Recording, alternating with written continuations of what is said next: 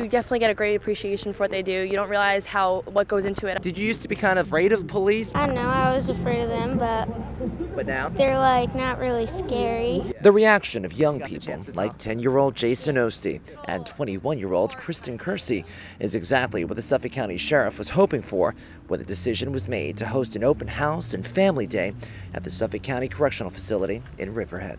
Well, there's several goals that Sheriff DeMarco has to show the public. We need future generations of officers to show them what the possibility is here of employment and what the uh, what our goals and dreams are here. Sheriff deputies also hope holding tours of the correctional facility and giving young people the opportunity to speak with them would not only give the public a better sense of what deputies do, but increase the level of trust and communication that law enforcement has with the communities they serve. A lot of stuff that's out there is basically myths, and we show them that this is not how we work, and what you see on TV is not real. Some young people we spoke to say even if this experience does not make them want to become a police officer, they say it helps them realize a correctional facility is a destination where they never want to end up.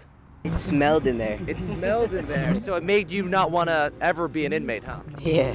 Had you ever stepped foot in a correctional facility before? Um, no. Does this make you never want to get in trouble with the law?